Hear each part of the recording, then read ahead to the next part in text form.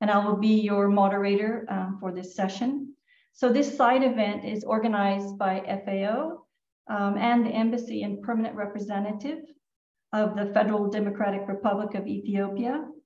And it's being held as part of the FAO and the CFS country members' efforts to systematically monitor the cost and affordability of healthy diets.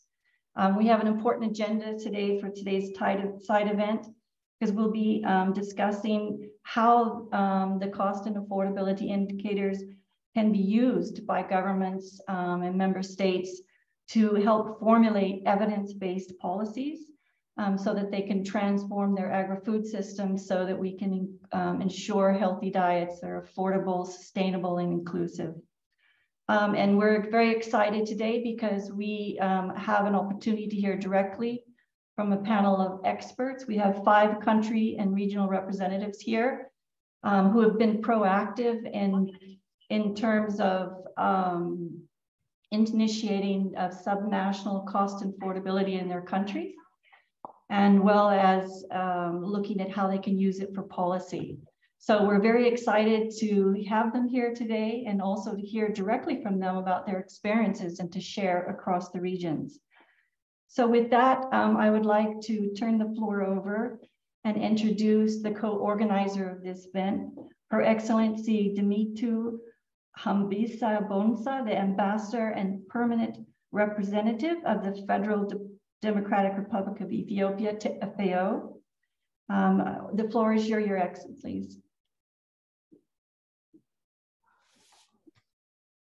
Good afternoon, you all. Uh, excellencies, distinguished representatives from different ministries, ambassadors, ladies and gentlemen, good afternoon again. At the outset, let me thank the Food and Agriculture organization for choosing Ethiopia to co-host this very important session that deals with the cost and affordability of a healthy diet, data and uh, analysis to inform agri-food system transformation. Today, so the degree diverges either south or north, west or east, we are struggling with food insecurity and malnutrition mainly due to the scarcity of health diets and it is unaffordability. The 2022 report of the state of food security and nutrition affirms the widespread nature of unhealthy diet and also brought global attention to the fact that, sorry, in countries both rich and poor, costs of the health diet is becoming one of the most serious impediments to accessing nutritious foods.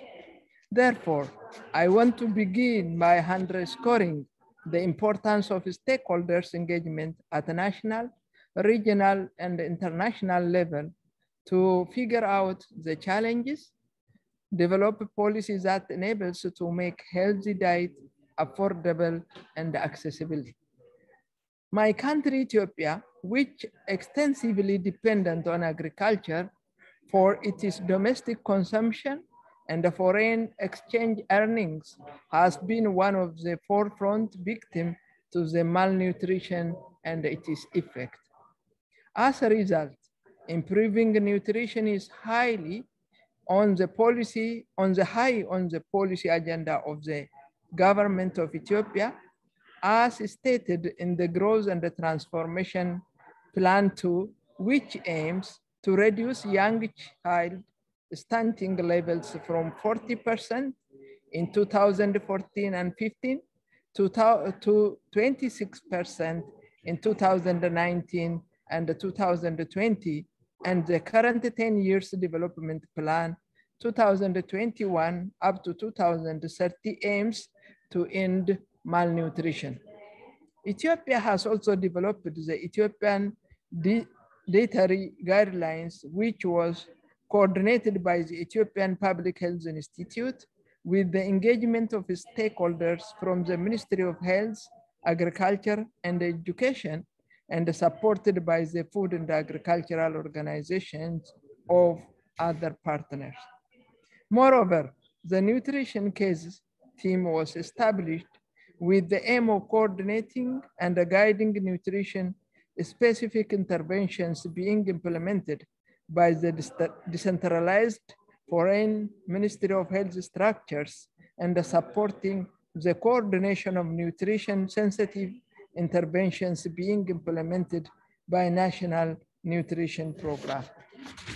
On the other hand, as the cost of health diets exceeds food expenditures in most countries in the global south, boosting production with diversity is very important to bring healthy diets affordable and cheaper.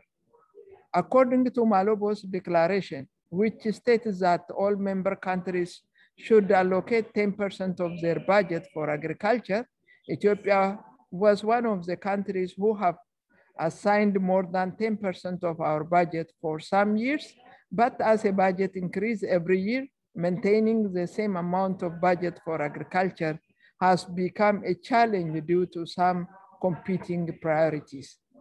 To maximize the production and ensure our food and nutrition security, we have taken some policy initiatives, including importation of tax-free agriculture machineries for small-scale farmers, fertilizers subsidiary and supporting farmers to get extension service to work on specialization, commercialization, and in cluster. However, unaffordability of health diet has become one of the challenges for Ethiopia as the cost of the diet is high relative to people's income. If such problems are to be addressed more boldly, we must improve people's income and livelihood, particularly in rural areas where poverty is higher. We need to strengthen the coherence between our policy and the plans so that have inclusive agricultural transformation to address our nutrition problems. Finally, I feel that a policy optimization model approach, evidence-based intervention combined with cooperation program and the cooperation are very important to deal with the situations of, thank you.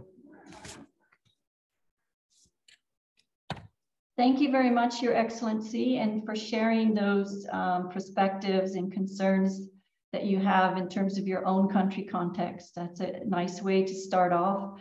Um, now I'd like to move on um, and introduce uh, Marco Sanchez Cantillo. He is the Deputy Director of the FAO Agri-Food Economics Division, and he's going to be providing us with some opening remarks to set the scene for our discussion before we move on to our panelists. So Marco, over to you. Thank you. Um, distinguished excellencies, um, colleagues, ladies and gentlemen, first of all, uh, let me express my gratitude to Her Excellency Dimitru Hambisa Bonsa for helping us coordinate and co-organize uh, with FAO this important CFS 50 side event. My greetings also for the members of the panel, of course, who have joined us today to share their experiences and discuss a topic of growing relevance as the cost and affordability of healthy diets. The reason why millions of people are food insecure and malnourished in the world today is because healthy diets are out of their reach.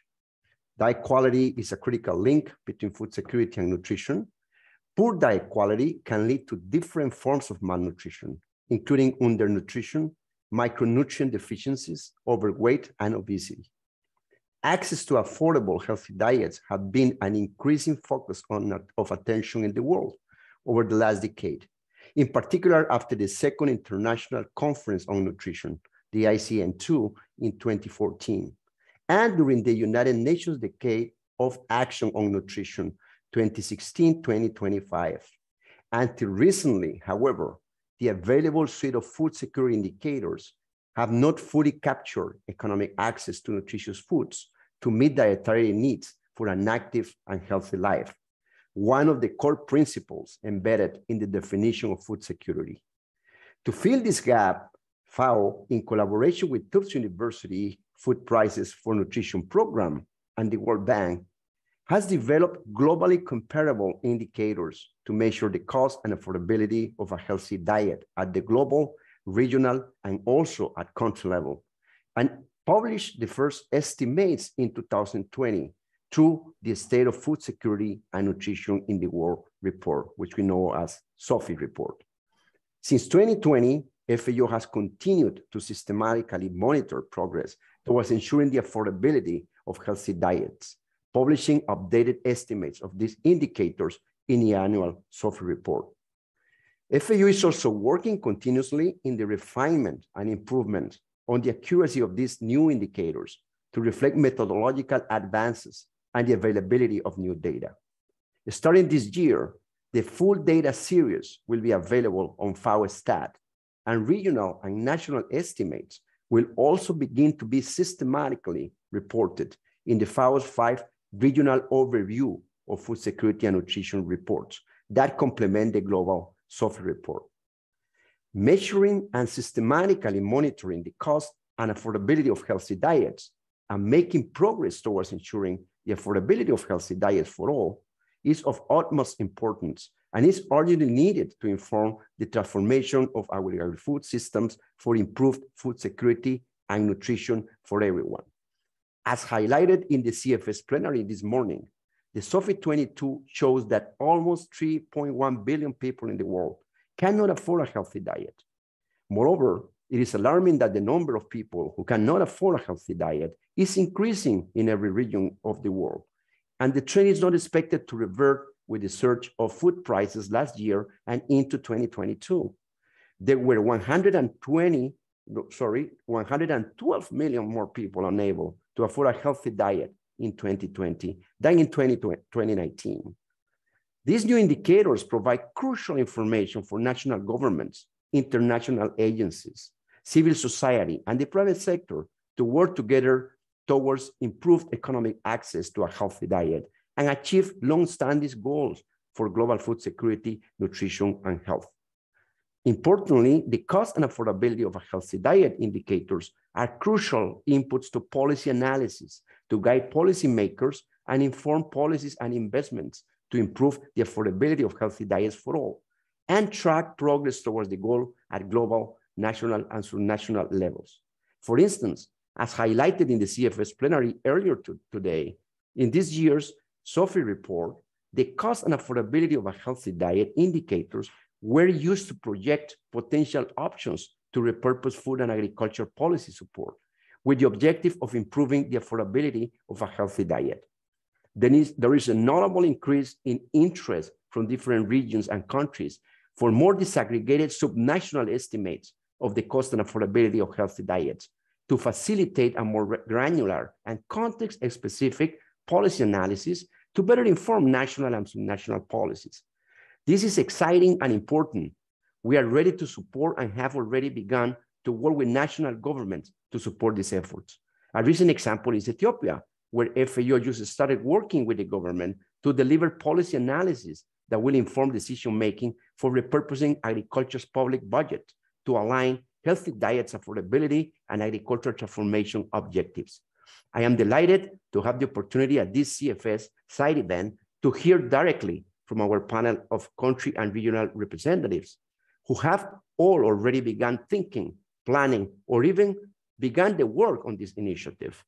It will be a great chance to hear about their thoughts, experiences, and plans for estimating some national cost and affordability indicators and their views and perspectives on the relevance and use of these indicators for policy formulation and improving national or regional policies. I am sure that our distinguished audience will enjoy this high-level discussion. I now give the floor to Cindy to introduce the panel discussion. Great. Thank you so much, Marco, and for setting that stage for us for these discussions and really, you know, giving the emphasis on why it's so important um, that we start looking at country context um, to look at these indicators at a subnational level so that we can inform policy at that level. Uh, and we're very excited today, but before I go on to introduce the panelists, I just wanted to remind everybody that at the end of this session, we do have a question and answer session um, where you can direct questions to the panelists. But if I can remind you that you put your question into the Zoom chat at any time and we'll be collecting those. Um, and then we'll come back to those at the end of after we go through all five panelists. And then just as a reminder to the panelists to please stick to time so that we can get to those questions.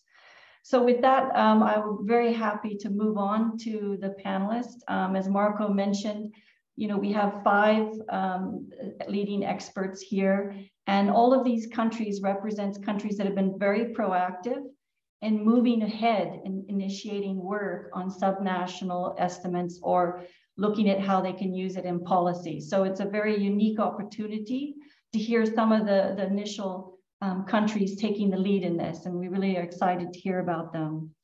So with that, um, the two questions we're kind of posing to the panelists, if they could tell us, you know, what is the importance um, to the government's perspective on monitoring this cost and affordability to subnational level to tell us a bit about that and also how they are using or how they foresee how these indicators will help them in their policy making. So with that, I'd like to go ahead and move to our first panelist. Uh, I'm very delighted to welcome Mr. Shaun Baugh. He is the program manager for the agriculture and agro-industry development at the Caribbean Community Secretariat. So it's our regional CARICOM body. So with that, Shaun, um, I'm welcome to, to enjoy um, to hear from you. Over to you, Sean. Thank you, Sydney. Um, Cindy. Um, good morning to my fellow panelists.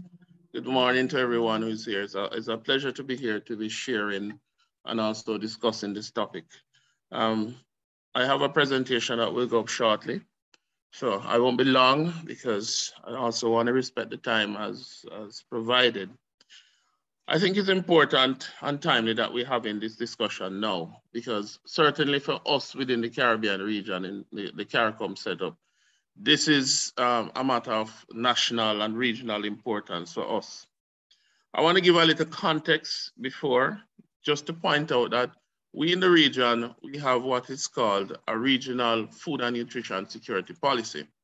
And this was approved from by our regional heads from way back as 2010.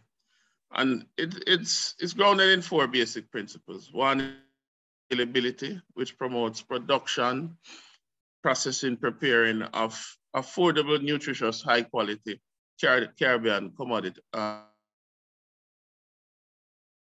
food access, which ensure regular access to Caribbean households. This to ensure that the poor and the vulnerable have sufficient quantity of safe, affordable food at all times. And three, food utilization and nutritional adequacy to improve the nutritional status of the Caribbean population, particularly with respects to NCDs, including diabetes, hypertension, sorry, and overweight as well as obesity. And finally, food stability, stability of food supply, which pretty much speaks to the, improve of, the improvement the resilience of the region and the national the national status of communities and households as relates to dealing with natural and economic and socio-economic crisis. I want to spend a little time and just give a little context, and a little background as to what the, the present state of food and nutrition security is in the region. Firstly, CARICOM countries, with the exception of two countries, Belize and Guyana, are net importers of food with over seven of, of our member states importing over 80% of their food, which collectively it's around 6 billion US dollars. 6 billion US dollars for our region in food import annually. Secondly, in the Caribbean region, NCDs are the leading causes of death and disabilities. As far back as 2016, we had 76.8% of deaths being related to, um, being attributed to NCDs. Additionally, our current macroeconomic position, certainly within most CARICOM member states, makes it difficult for us to achieve food and nutrition security. And I wanna look at a recent study, as recent as August, that the CARICOM Secretariat did in collaboration with the World Food Program. And it had to do with our COVID-19 Security and Livelihood Survey. And it estimated that 4 million people of the 7.1 million, 57% in the English-speaking Caribbean are food insecure. This is a dramatic increase of 1.3 million since February 2022. I wanna look at some of the, the, the important things that came out of the survey. It found that certainly more persons more persons are eating less nutritious food. Persons are skipping meals. People are also consuming less nutrition diet, less nutritious diets, with people skipping meals, 72% of the respondents. People are buying less healthy and diverse food. Nearly a third of the respondents reporting having no food stocks at home. And finally, diet costs has written has risen, sorry, within the recent month with with food price inflation, inflation above 5% in many countries as a result of the COVID pandemic, climatic shocks, and certain increased prices res resulting from the current war in the Ukraine. Now, the challenges exist, yes. There's high cost of trade, vulnerability to climate change, there's low infrastructure, there's limited um, application of technology, among others. These are some of the challenges that are contributing to regional food, food, food insecurity. Now, within the context of these challenges, there are opportunities. Are opportunities that allows for us as a region to one, increase production of regionally produced nutritious foods. Greater South-South cooperation. There's now an opportunity for data-driven policy development. There's an opportunity for greater involvement in youth and women in food and nutrition, awareness, implementation, program, projects, and projects. And finally, there's an opportunity for private sector involvement. Now, what has the region done? The CARICOM region, in response to this food and nutrition challenge, has developed a broad framework within the context of our food and nutrition policy. And it's entitled Advancing the CARICOM Agri-Food Systems Agenda, prioritizing regional food and nutrition security. Now, we have developed through this what is called a 25 by 25 vision, which seeks to reduce our food import bill by 25% by the year 2025. And this in of itself has the, the support of all the heads of governments within the CARICOM, CARICOM region. And through this, we have established what is called a special ministerial task force on food production and food security. Now, this entity has been tasked with, what should I say, marshalling, channeling our, all our food and, food and nutrition um, goals, objectives, targets, and ambition going forward. Now, I'll spend a little time and just speak about what Vision 25 by 25 is. It is Vision 25 by 25 seeks to implement actions and critical areas of intervention, which seeks to tackle the, the region mushrooming food import bill. The goal is to improve intra-regional trade, trade creation of wealth, economic opportunity for the agricultural sector for every CARICOM member state. The vision recognizes that some key factors are effective, that are effective institution, improve infrastructure, knowledge management, adequate in incentives, stakeholder initiative, and a conducive environment towards this. Now, it is a partnership between member states, all regional private sector, all regional organization, producer group, development partners, and civil society.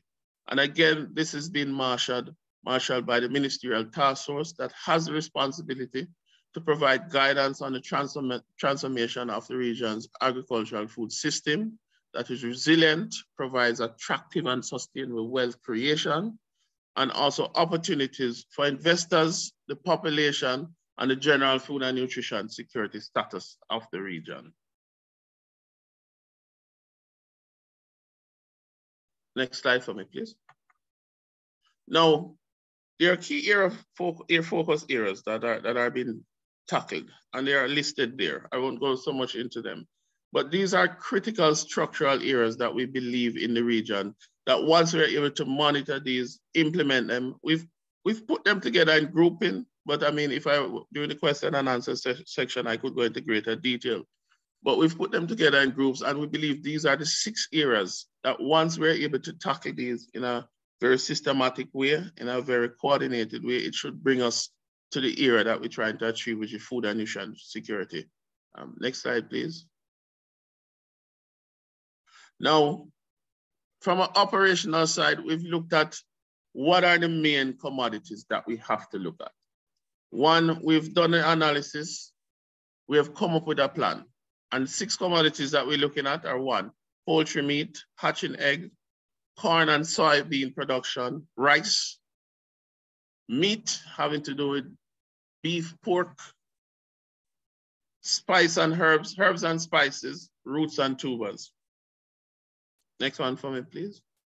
Now, we've seen positive development. We're now seeing the traction taking place. We're seeing certainly on all areas, every single member state within the CARICOM setup has developed their own implementation plan that has collectively rolled into the 25 by 25. The political will has been secured for this. Added to that, the communications plan has been developed and is being rolled out throughout the region it is now a regional priority, food and nutrition security. There are various activities that are being put in place as, as are listed there to tackle the same. Um, next slide, please. Now, take me back to the other one, please. Now, it's important to note that with the head of, with the help of the FAO, we have now started develop a, a stoplight tool, which is now assessing the food and nutrition security status of the region for each member state, we have undertaken the necessary data, we have undertaken the necessary data collection, which is mapped against our regional food and security, food and nutrition security policy to see where we are as a region. Green meaning that we're achieving the target, amber meaning that we're behind, and red meaning that we're horribly behind, to put it simple.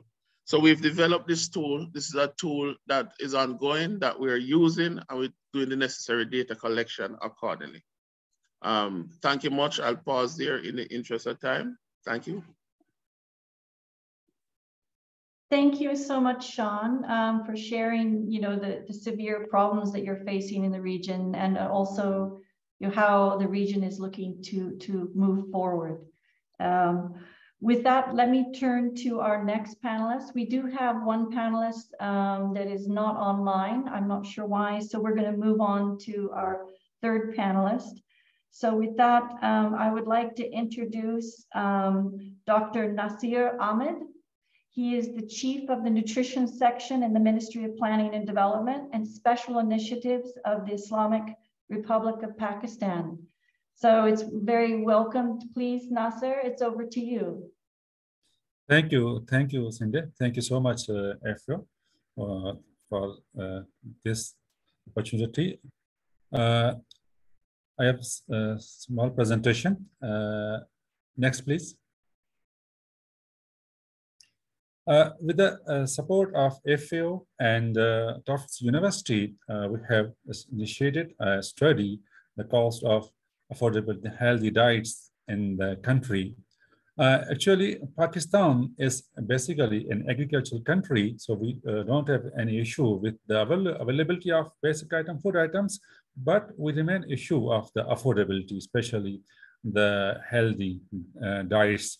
This study uh, is, a, is a realistic economic standard that measures economic access to nutrients, adequate diets, keeping the view cultural context. And this study is also aligned with the mission of the Nutrition Section of Planning Commission, that is, to ensure food and nutrition security by promoting cost-effective nutrition intervention through coordination, awareness, and behavior change communication research also.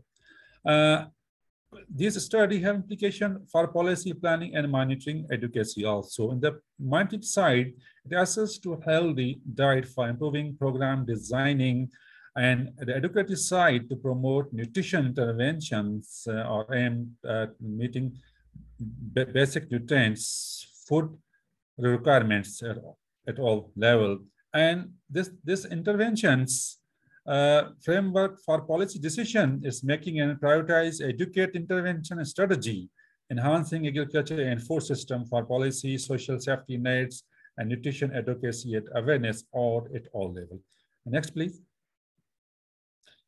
Uh, these are similar studies and few our policy documents we prepared in the past, like uh, Pakistan multi-sectoral nutrition strategy. We have prepared the bottom-up approaches, and we have also prepared a food composition table for Pakistan. Previous, it was more than 200 food items, but now we have uh, in process to review it, more than 300 cooked raw and cooked food items. We've also regularly we uh, in the country we uh, uh estimate the cost of basic food items like uh, basic cost to provide the 2150 calories per capita per. day. Next, please.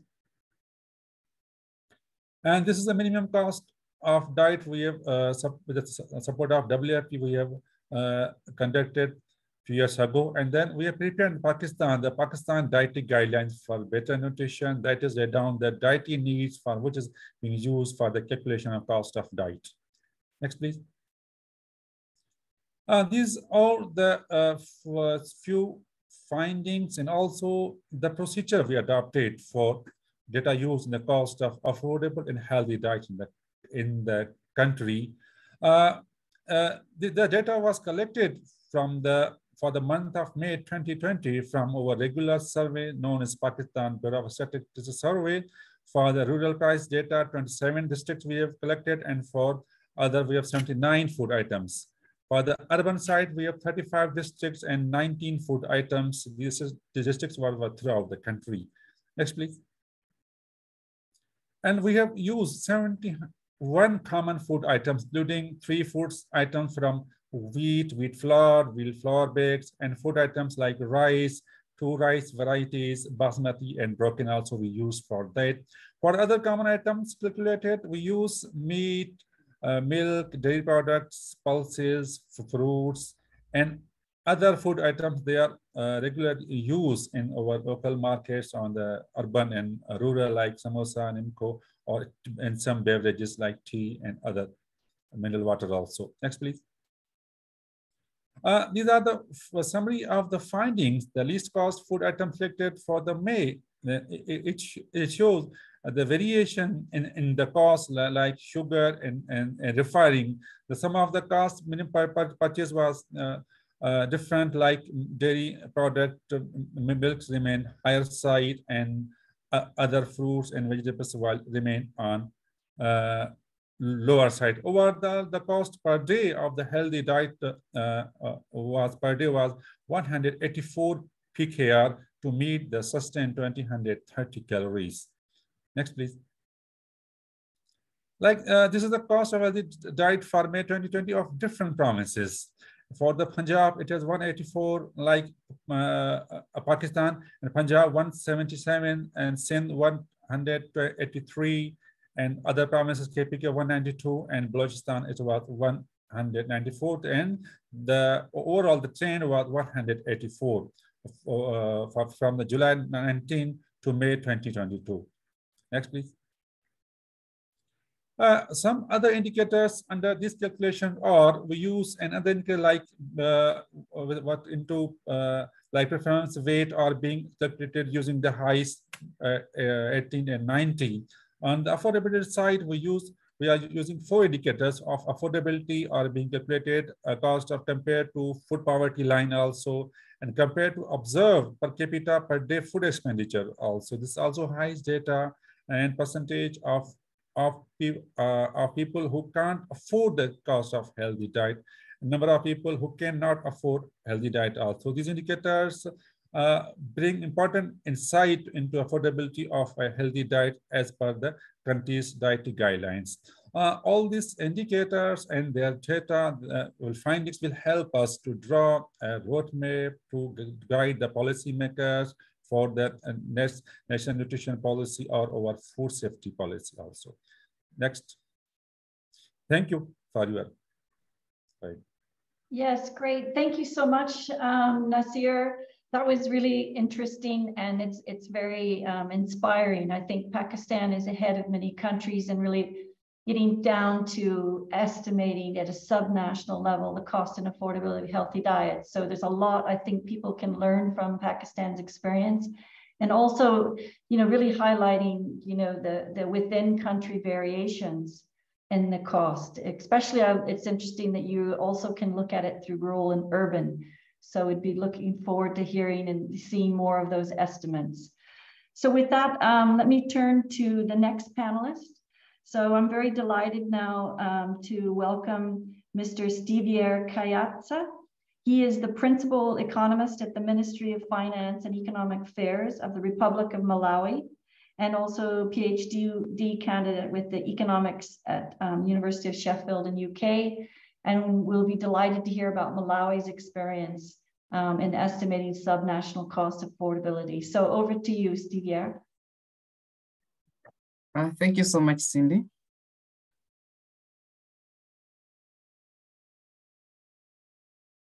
Yeah. Yeah, so basically I'll be presenting uh, on Malawi's experience uh, on estimating cost and affordability indicators and possible opportunities that we can uh, exploit in Malawi. Uh, so in Malawi, uh, we have a national multi-sectoral nutrition policy that is being implemented between uh, 2018 and 2022, basically to provide a framework uh, for successful implementation of nutritional uh, response, uh, existing and emerging national and global issues, but also to uphold the government government's commitment towards eliminating all forms of malnutrition. So the policy has about eight priority areas, and these are linked to other policies. For example, we have Malawi's vision, a national agricultural policy, and national healthy policy. However, when we think about uh, healthy diets, we do that see that uh, healthy diets, making them to be more affordable, is not one of the uh, uh the policy agenda in Malawi. So Malawi has experience in estimating cost and affordability indicators uh, through CANDASA project. CANDASA was a changing access to nutritious diets in Africa and South Asia, and it was being implemented by Tufts University and in collaboration with International Food Policy Research Institute between 2018 and 2020. So through this project, uh, we managed to use existing data that the National Statistical Office collects across uh, markets in Malawi, basically to compute uh, consumer price index uh, on a monthly basis. So the data set has uh, a rich list of diverse foods that are mostly consumed uh, by most households across Malawi. So the second phase of the project uh, is now to empower the National Statistical Office. So we have developed Excel and Stata files uh, that can facilitate computation of uh, cost of nutrition adequacy indicator across various marketplaces. So this will make it easier for the National Statistical Office uh, to monitor this indicator, but also to publish it along with the uh, CPI indicator on a monthly basis. So in terms of opportunities that we do have, uh, we have several areas we, where, where we think like we can integrate uh, the cost and affordability indicators in our existing programs or interventions. So we have humanitarian response program, uh, which basically assist uh, people who are food insecure every year. And basically we do give them uh, food items, for example, maize staple, legumes, oil, and soya brand. But also in some instances, we do some cash transfers uh, equivalent to accessing these food items. So there you can see that even the, the list of food items that are being part of the uh, humanitarian response program do not basically address the issues of healthy diets there. Then we have also social safety net, uh, cash transfer program. This one is a, a national program that basically targets uh, ultra poor households with cash on a monthly or bi-monthly basis to uh, uh, help them access food. But then when you look at the transfer values, they're way, way below what they can allow these households to access uh, healthy diets. Then we also have uh, other social protection programs like maybe minimum wages. So minimum wages in Malawi are based, uh, revised based uh, on inflation, but maybe we could instead look at uh, invest, revising the minimum wage based on the debt costs. So these are some of the areas where we feel we could integrate cost and affordability of uh, healthy indicators in our existing programs or interventions. Thank you so much for your attention. Great, thank you so much. Very interesting to hear. Also, um, not only the experience of estimating the cost and affordability, but where you're looking um, to help inform, especially something new that not many people are talking about is the humanitarian response and cash transfers to, to use that indicator to help um, look at how you would set those limits, as well as the so social safety nets and other social protections. Very interesting perspective there. Um, so thank you so much um, for sharing that.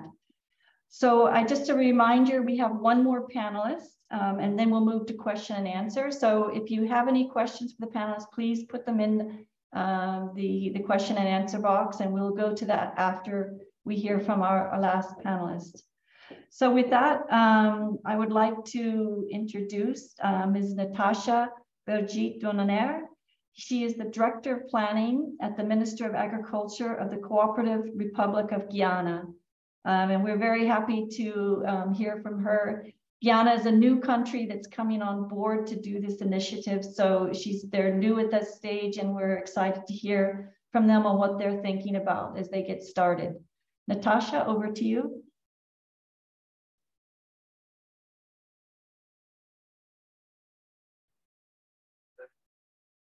Thank you very much. Good morning, all.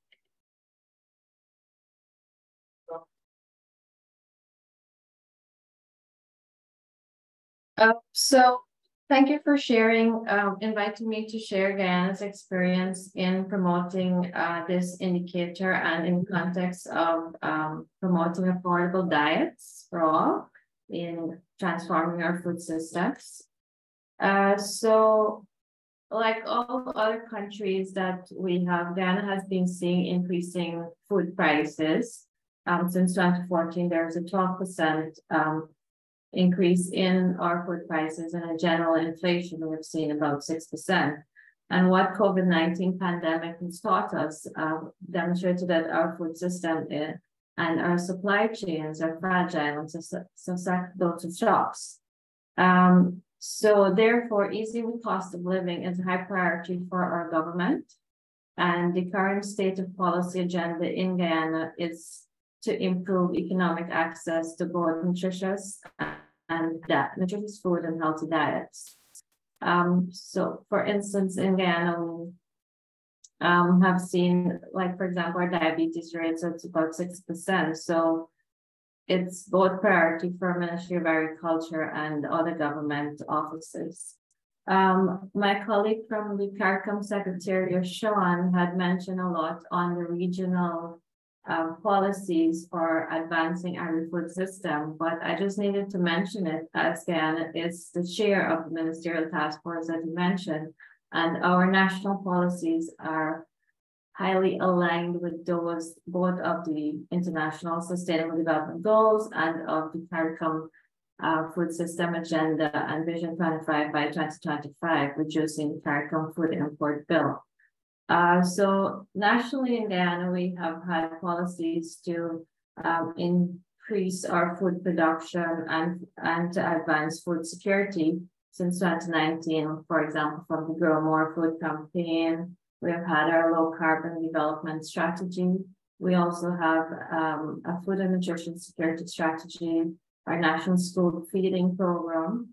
Um, recently with the UN Food Systems Summit, we've held our dialogue. We have the pathway document for food system transformation, and we're also working on our food safety authority. So there are clear policies, um, programs to support our farmers, investors, um, in what is needed to transform our food system. One of these, um, so let's just look at some of these. I won't go into all of this, but generally, uh, there's clear policy direction. There's commitment by His Excellency, our President, Dr. Mohamed Irfaan Ali, um, and there is investment in agriculture. One of the commitment that the government has made is to increase agriculture expenditure in the national budget as um, was set earlier to 10%. We are currently at 5%, so that commitment is there to increase it. We are investing in large scale cultivation, for example, um, corn and soybean, which is heavily needed for the livestock industry. That is one of the um. Actually, um, to do that, what we have invested in about 12 new commodities within the sector to um, advance our food production. Because we do know globally there is um, the goal to bridge the production gap because we see that we need to increase our production by 70% globally to meet the 9.5 billion people that um, that's a target by 2050. So we have a target of about 40 to 50% by 2025 to increase our production. Um, we are working on developing high yield pest resistant varieties, for example, in rice to upgrade our infrastructure. Uh, Guyana has a lot of, um, in terms of flooding, we do suffer flooding, so DNI infrastructure is very important farm to market roads, uh, strengthen our support services, maybe extension, weather forecasting, finances, and upscaling our skill set. And in all of this, we're working very closely with um, our regional counterparts uh, to dismantle basically trade barriers, to improve transportation logistics, the challenges that we face, to have CARICOM reach, well, CARICOM and internationally, to um, be have affordable diets. Um, so this is just some of the commodities that we're focusing on, and Sean already mentioned some of those, so I wouldn't go into them, but um, for aquaculture, livestock, and crops, these are all areas that we are focusing in Guyana and the CARICOM. So this indicator um, is a recent development and um, I got this information online that FAO is calculating it. And it is a relative cost of food relative to income. So it looks both at our food production and the income of the individual. So one of the things that we have noticed is that CARICOM has a very high cost of affordability of healthy diets, and Guyana, we also have a high relative to the average. Um, but consideration also, and I think there was a question in the chat about the peculiarities of each country. For example, in Guyana, we have 90% of the population living in one um, coastal lands, while about 90 in the hinterland are internal regions where there is um, the indigenous people where their culture also affects that um, affordability, let's say, or there because um, it's more a cultural thing than uh, food security in that way. Um, and finally, in terms of the use of the data in policy making, must mention that we are working very closely with FAO in Guyana for many years in um, not only for development of our agricultural statistics system, we have done assessment of it, and we're currently working on the strategic plan for agriculture and rural statistics. We also have uh, worked with the FIES indicator in Guyana, and in right at this moment, we're doing our population housing census, where we're collecting information on how to report on our FIES, both at Ministry of Agriculture and National Statistics Office. There's close collaboration with FAO to strengthen our information. Um, so what we are doing now is to closely monitor this indicator. We are happy for the technical assistance and the work provided by FAO. And I am sure that over time we can continue to work with FAO and our um, national stakeholders to track the progress of this indicator so that we can monitor um, our policies.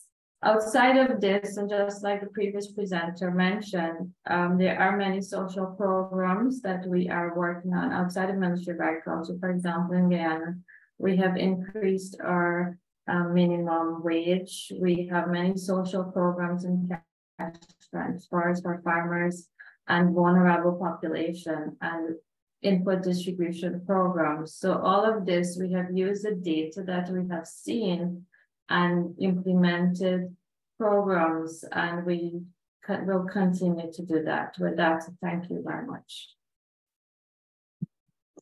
Great, thank you so much, Natasha. It's very interesting to hear, you know, what you're outlining as the potential uses, and especially in terms of an integrated in your monitoring framework. Um, so we look forward to continuing to engage with you and see how, how things develop. So this um, concludes um, our set of panelists. Um, so we would like to move now to the question and answer, and we do have a few questions that have come in. So I would like to go ahead and, and start with one, if it's okay. Um, the first question is, um, you know, many countries are just beginning to think about how to um, estimate subnational cost and affordability of um, indicators for healthy diets. But we do have a couple of countries on the panel, Malawi um, and also um, Pakistan, who have already done it.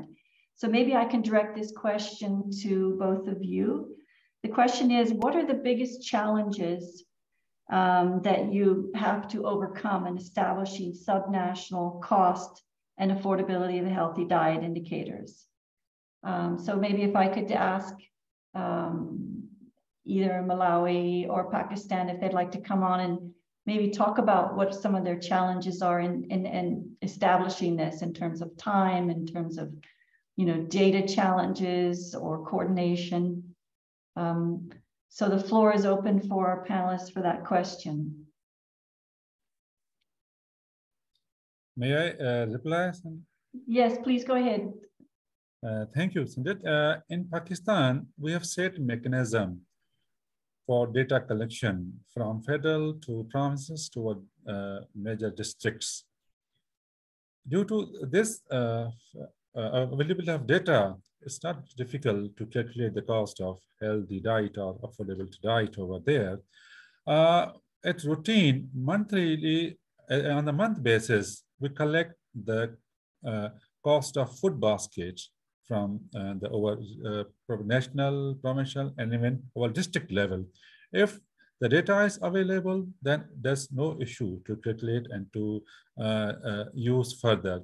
But if, if it's any uh, issue, there's break in data collection, there's break in the data from grassroots level, not provided in the meantime. So there is a challenge to calculate the cost or to estimate for further findings over there. Okay, over great. Thank you so much, um, Nasir. Um, did we, did Stevier, did you want to come in with some learning from Malawi and maybe what challenges their could, countries could face? Yeah, so I think uh, it's the same challenge that um, Nazia had uh, mentioned. So like countries like um, most of most like countries like Malawi, you know, the emphasis is uh, consistently collecting data on staple foods. So sometimes, you know, they, they don't have um, enough funds to collect data on these other diverse foods, but that, that are so uh, nutrient dense and important households. So keeping track of those on a monthly basis poses a challenge to National Statistical Office. But I think if they're adequately funded, that should not be a problem to uh, update the, the indicator on a monthly basis. Yeah, can you comment um, the, the consumer price, the national consumer price index that are um, calculated and uh, collected in most countries? Does that give the price data that you need for doing the subnational? Can you, so yes. the question is, can you, can you tap into other existing price data collections to come into um, calculating this indicator? Uh, thanks, Cindy. So I, I, think I'll just talk based on uh, my experience in, in, in Malawi's, Malawi's um, estimation, estimation procedure. So like we, what you need to do uh, to have, to estimate uh, cost of cost and affordability indicators data is for some uh, months consistently, like maybe a year or so. So like for Malawi, uh, the way the data collection is done for uh, consumer price index, it encompasses like uh, foods that are most commonly consumed. So that makes it easier for us like to compute now uh, the cost of the cost and affordability indicator measure because it like the the food list is, uh, has about 55 food items that are commonly consumed across uh, Malawi. So that is an advantage to us to use that data. Okay, thank you. Nasir, did you want to add anything to that in terms of your experience in Pakistan? Uh, yes, indeed. Uh, the regarding the CPI, current price index, that, that, that is our main, main source for this uh, analysis we need. And one thing we also feel some challenge, like the food items data being collected by the regular surveys. If there's or major food items, some minor may be missed over there in the grassroots level, so it's difficult to calculate them and compare them in the cost of healthy diets. Mm -hmm.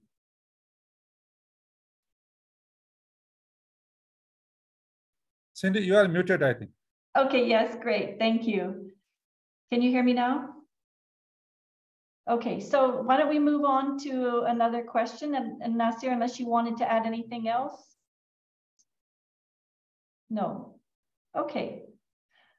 All right, so let's move on to the next question. Also a very interesting question, which is, um, there are different entry points um, to mainstreaming the objective of making healthy diets more affordable into a, a country policy agenda. For example, it could be introduced within the health and nutrition sector, or some, it could be introduced in terms of the agricultural sector, or even social development sectors. So the question is, is what are the challenges in a country context for identifying where best placed and how to enter introduce this um, into the POL agenda for mainstreaming. Um, if you can talk about challenges or even ideas, even for countries that maybe haven't started to collect the indicator, but what you're discussing or what you're thinking, where's the best place this situated and how to create those interlinkages since it applies to so many different um, sectors and also ministries. So the floor is open. Um, is there anybody that would like to step up and maybe try um, tackling that question or even if it has to raise more questions about it?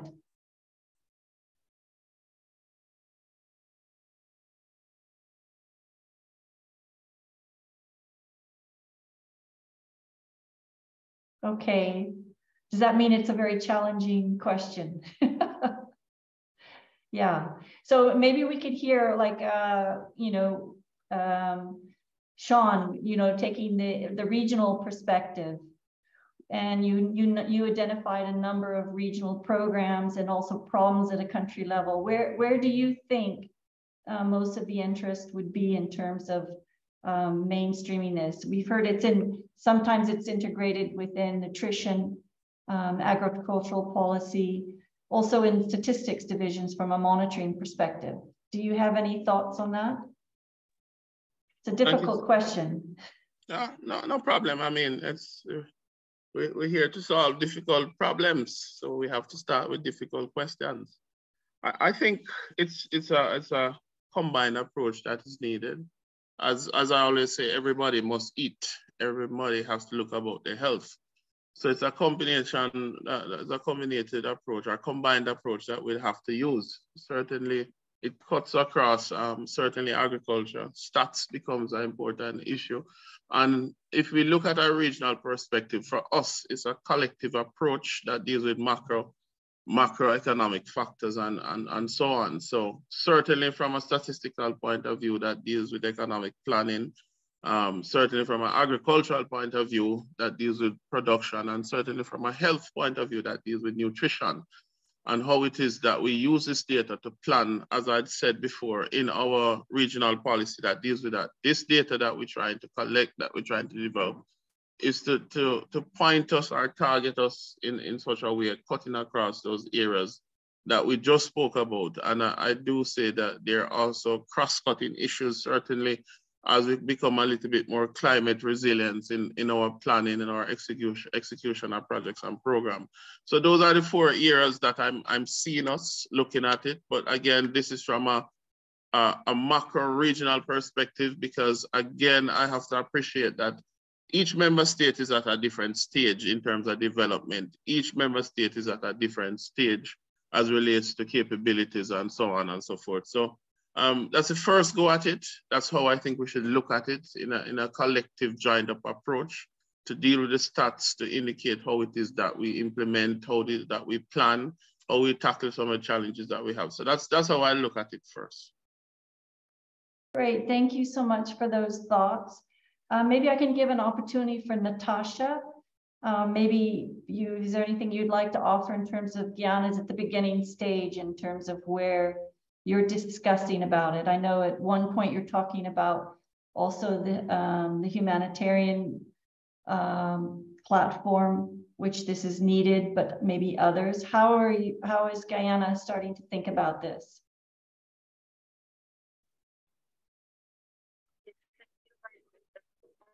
So we are basically looking at this in a combined manner, as Shaun would have mentioned. Um, most of the interventions in Guyana for this healthy diet or easing the cost of burden as we, we are terming it here um, is both at agriculture standpoint with the cash transfer to fishers and farmers. We also um, are looking at it as a cost of production to ease that fertilizer prices have gone up considerably. So to reduce the cost of production of our um, agriculture commodities. In terms of the social programs, um, like I mentioned, it's the vulnerable groups that are targeted to assist them so they can afford a healthy diet. So those are the most that the healthcare system um, would be burdened with.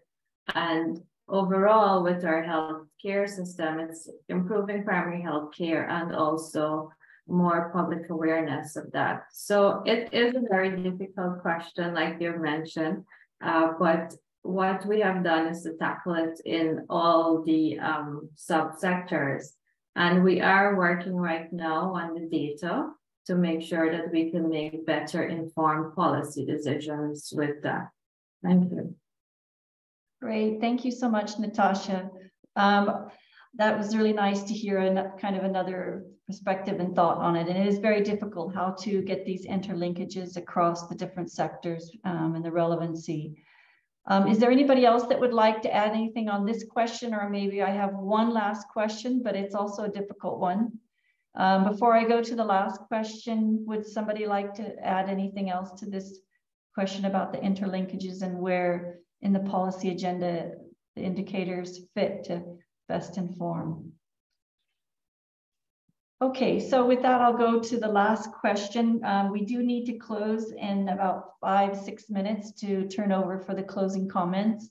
Um, but let me try this question. It's, it's also coming in from, um, from our chat.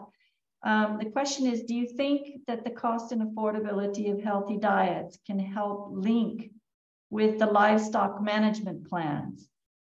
For example, and it even said, for example, in Malawi, um, so, so let me throw that question out. I don't know, um, Stevier, if you want to try and tackle that since they were directing it to Malawi, um, but also the floor is open to others.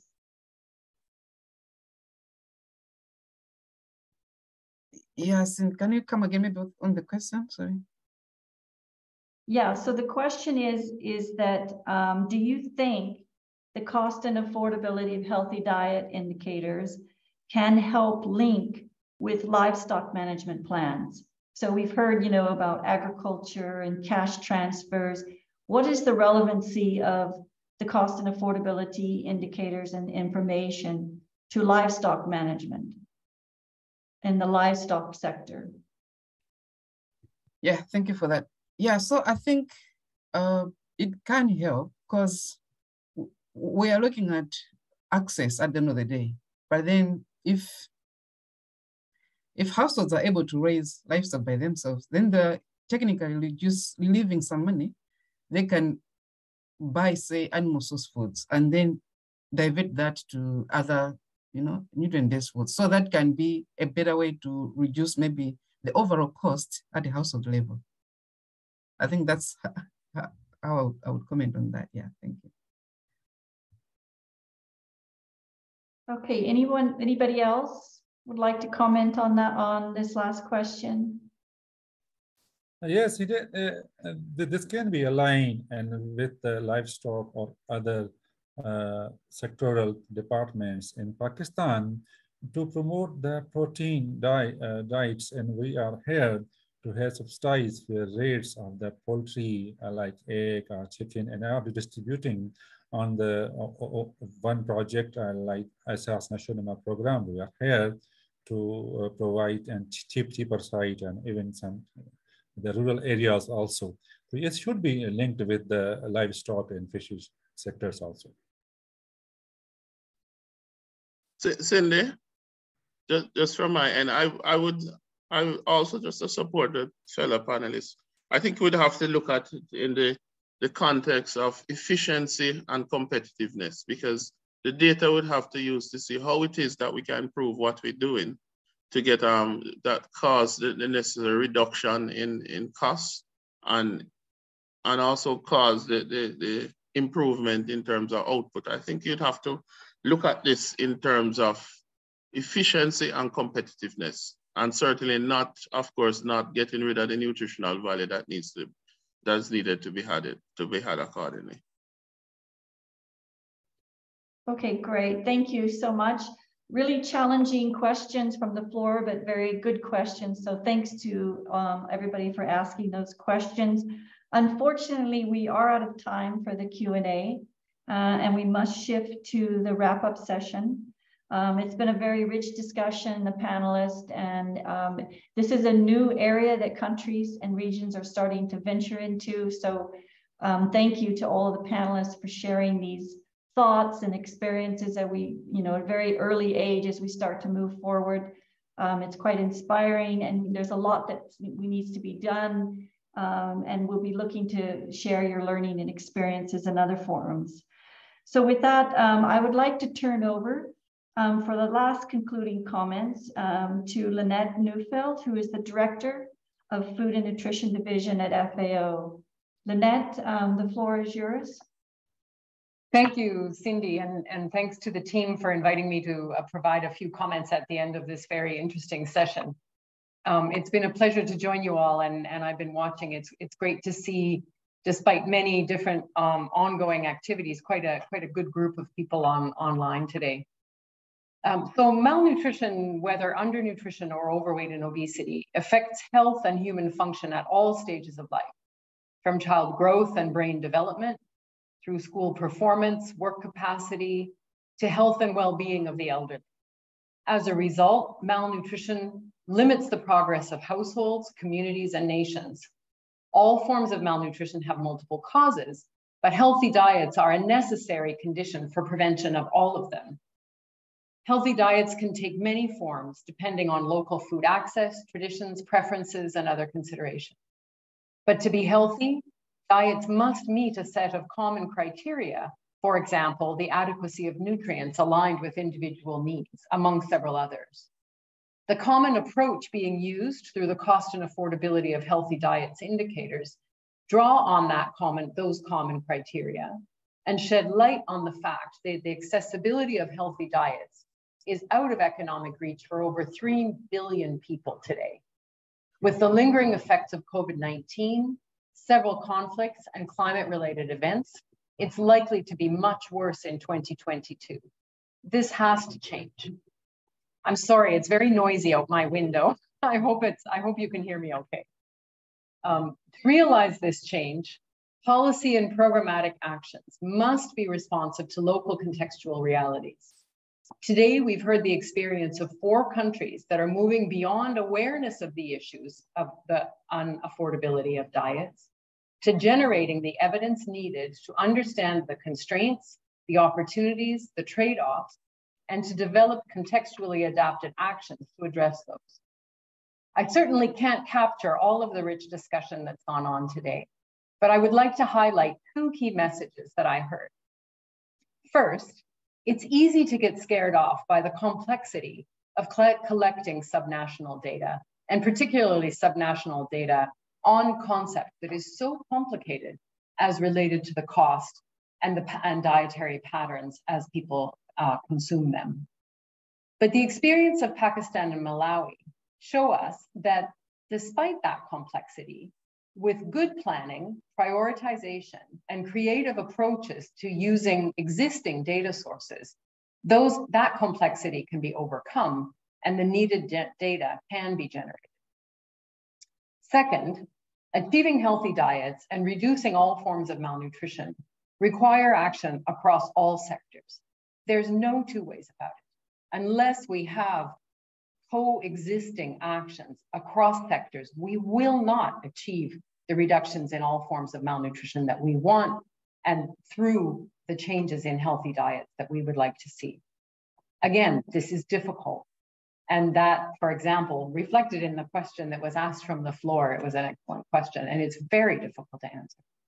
But again, we heard good examples of how local data on cost and affordability of diets can inform humanitarian social protection and social safety nets to ensure that the package that those programs are providing are responsive to the reality uh, of the potential beneficiaries of those programs in the local context, in the reality of that local context.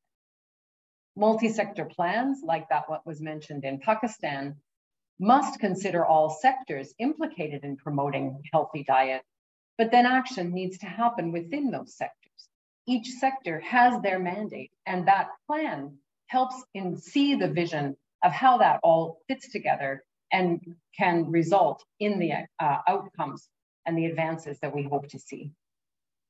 I also really enjoyed hearing about the regional initiatives such as CARICOM that can provide a framework for uh, within a region that has a set of, of, common challenges and can set up very concrete um, targets and a series of actions that can lead towards that. Again, as part of a broad uh, multi-sector framework um, that is ultimately needed to achieve reduction in all forms of malnutrition. And with that, I thank you again and pass it back to you, Cindy. Great, thank you, Lynnette, for that kind of overview and wrap up and really highlighting some of the key messages that came out. I think you really, you know, highlighted a couple of really important points about, you know, it is feasible to do subnational data collection for cost and affordability, building off of existing systems and the whole point of the multi-sectoral. So it's been a, a, very exciting event. We do have to conclude now. Um, this session has been very complimentary to the preliminary um, discussions and on the plenary this morning. And I'm sure it'll be informative in the next few days as we go forward. So with that, I'd like to thank everybody um, Your Excellency, and all our panelists and all of our participants. And thank you very much. Bye-bye. Very much.